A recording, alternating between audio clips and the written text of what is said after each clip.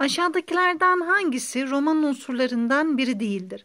Şimdi romanın dört ana unsuru vardı. Bunlar neydi? Olay örgüsü, kişi, kişi, mekan ve zaman. Bunlar romanın dört ana unsuruydu. Dil ve anlatım ise nedir? Yardımcı unsurdur. Dolayısıyla cevabımız Bursa.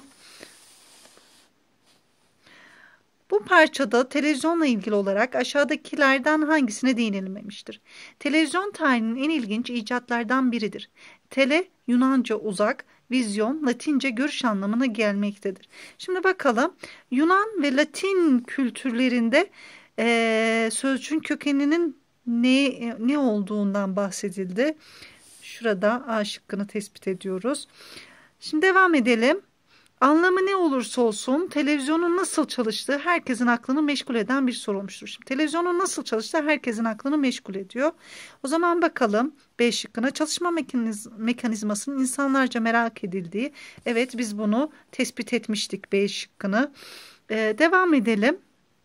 Bu karmaşık olayı basite indirgeyecek olursak aktarılanın görüntü olmayıp görüntünün oluşturulması tekniğine dayalı bir durum olduğunu söyleyebiliriz. Televizyon John Baird'in Baird adlı bir İskoç tarafından icat edilmiştir. İlginçtir. İlk televizyon diyebileceğimiz aygıt bir lavabo ile çay kabından oluşturulmuştur. Şimdi ne yaptı? Televizyonunun ilk olarak nasıl oluşturulduğundan bahsetti. Bakalım ilk televizyonunun ilk televizyonun basit malzemelerle oluşturulduğundan bahsetti mi?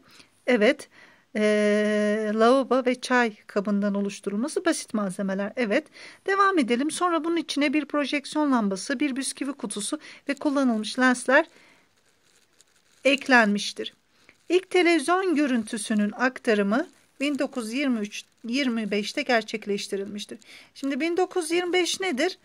Hangi yüzyıl içerisinde? 20. yüzyıl içerisinde yer alıyor. O zaman bakalım E şıkkına yayın hayatına 20. yüzyılda başladı. Bunu da tespit ettik. Ama televizyonun görüntüyü yansıtarak çalıştığından parçanın içerisinde bize bahsetmedi. Dolayısıyla cevabımız Ceyhan.